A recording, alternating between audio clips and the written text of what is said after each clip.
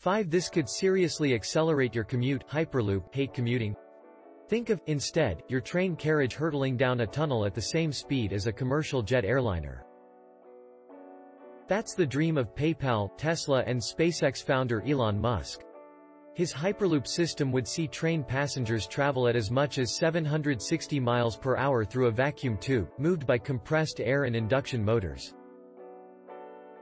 Once built, the loop will ferry travelers between San Francisco and LA in 35 minutes, compared to 7. 5 hours by train. Six wearable sports bands that determine your heart rate are absolutely nothing new, but as numerous research studies have revealed, the accuracy can differ extremely, specifically if you rely on them to count calories.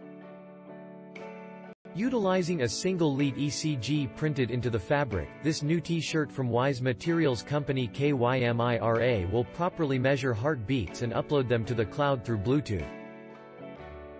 As soon as there, algorithms process the information to precisely identify irregular heartbeats such as arrhythmia heartbeats, which could show life-conserving. The possibilities this product uses both sportspeople and the general public is astonishing, states Tim Brownstone, CEO and creator of KYMIRA. We envisage developing this item to be used for clinical applications to allow those who might currently suffer with heart disease enough alerting of a cardiovascular disease. 7 London's coffee market develops over 200,000 tons of waste every year, so what do we make with it? Business owner Arthur Kay's concept is to utilize his business, BioBean, to turn 85% of coffee waste into biofuels for heating structures and powering transport.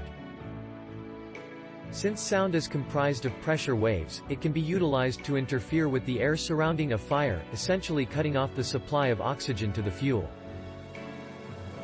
9. Cut off a flatworm's head, and it'll grow a brand new one. Cut it in half, and you'll have two brand new worms. Fire some radiation at it, and it'll repair itself. Researchers have wished to work out the mechanisms included for a long time, however the secret has actually avoided them. Get in an AI coded at Tufts University, Massachusetts. Thanks for watching.